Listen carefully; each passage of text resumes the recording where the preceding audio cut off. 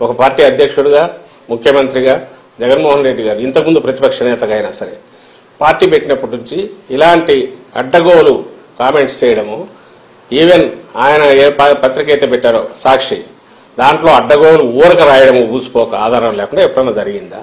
ఆయన ఎప్పుడు కామెంట్ చేయట్లేదు. ఫ్యాక్ట్స్ ఉంటే దాని మీదే మాట్లాడుతున్నారు. ఇప్పటికీ అదే చేస్తున్నారు.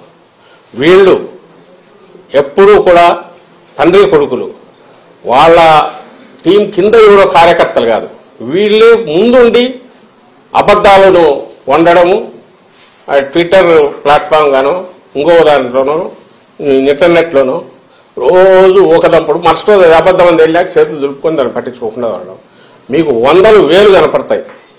మొత్తం ప్రచారం కానీ వాళ్ళ రాజకీయ వ్యవహారాలు కానీ వాళ్ళ విధానాలు కానీ అన్నీ ఏంటంటే అబద్ధాలతో వండడం దాన్నే పదిసార్లు వంద సార్లు చెప్పడం. అదే నిజమని వాళ్ళు నమ్మడం అదే నిజమని ప్రజలు నమ్మించాలని చూడడం. గంజాయి అయినా ఇసుక అయినా ఇంకోటైనా వాళ్ళు ఏదన్నా ఈరోజు అంటున్నారంటే ప్రతిదీ కూడా వాళ్ళకు చెప్పుకోవడానికి ఏమీ లేక మాకు చెప్పుకోవడానికేమో చాలా ఉన్నాయి. అందువల్ల పాజిటివ్ ఎజెండాతో మేము పోతున్నాం. మీరు ఈ మధ్య సిద్ధం సభలు చూసినా రేపు జగన్మోహన్ రెడ్డి గారికి జరిగే సభలు చూసినా మా నాయకుల ప్రచారం చూసినా మేము చేసినవి చెప్తున్నాం. మీరే గమనించండి ఆలోచించండి. రాజకీయ పార్టీ మేము చేయాలనుకున్నవి చేసిన పనులు.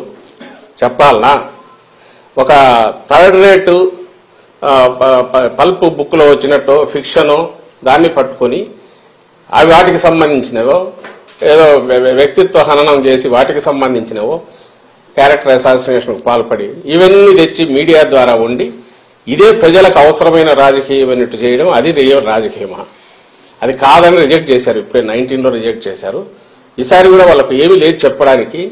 ఈవెన్ వాళ్ళు అనుకుంటున్న హామీలు రిపీటెడ్గా చెప్పడానికి కూడా భయపడుతున్నారు ఎందుకంటే నువ్వు నిన్న ఏం చేసావని అడుగుతారు. పద్నాలుగు పంతొమ్మిది మధ్య చేయలేదు కదా అబద్దాలు ఆడినావు. ఇచ్చిన అబద్ధపు హామీలు ఒక్కటి నిలబెట్టుకోలే కదా అనేది అడుగుతారు. అందుకోసం వాడి జోలు కూడా పోవట్లా. రేపు ఏదో చేస్తామని చెప్పాలంటే భయం. నిన్న ఏం చేసావని జనం అడుగుతారని అందుకని రోజు ఏదో ఒకటి.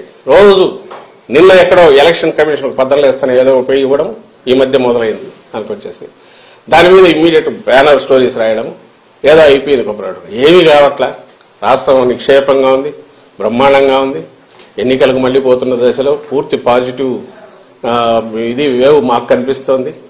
అందుకే మేము ఎక్కడ పోయినా ఆదరణ అట్లుంది. అది సహించలేక రేపు ఎన్నికల్లో ఇరవై మూడు కంటే ఇంకా హీనం పోయి జీరో సున్నాకు దగ్గరగా వచ్చే సింగిల్ డిజిట్కో లేదా సున్నాకో కన్ఫైన్ అయి పరిమితమయ్యే పరిస్థితిలో నేపథ్యంలో దాన్ని ఎక్స్ప్లెయిన్ చేయడానికి అవసరమైన గ్రౌండ్ ఇప్పుడు ప్రిపేర్ చేసుకుంటోంది. తెలుగుదేశం పార్టీ కానీ ఆ పార్టీ అధ్యక్షుడు కానీ ఆ పార్టీ జాతీయ ప్రధాన కార్యదర్శి ఆయన కుమారుడు లోకేష్ కానీ లేదా ఆయన వెనక వాళ్ళ దత్తపుత్రుడు పవన్ కళ్యాణ్ కానీ రేపు పోయిన తర్వాత ఈరోజు వాళ్ళు ఏమేమి ఈ ఇది వీటేమంటారు? అడ్డగోలు వ్యాఖ్యలు చేశారు.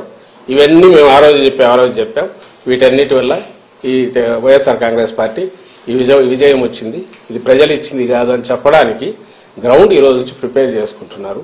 రెండవది వాళ్ళకి చెప్పడానికి ఏం లేదు కాబట్టి నోటికి వచ్చినట్టు కారు కూతలు పోస్తున్నారు సార్ ఎన్నికల కమిషన్కి ఇప్పుడు ఆపరేషన్ లేకుండానే మోకాళ్ళకు ప్లాస్మా ట్రీట్మెంట్. మీ ఆర్థోపెడిక్ సమస్యలన్నిటికీ రోబోటిక్ టెక్నాలజీ ద్వారా తక్కువ ఖర్చుతో శాశ్వత పరిష్కారం. Free consultation. ప్రతి ట్రీట్మెంట్ పై ట్వంటీ పర్సెంట్ డిస్కౌంట్. ఈ ఆఫర్ కొద్ది రోజులు మాత్రమే త్వరపడండి. V9 Hospitals 9281 465 842.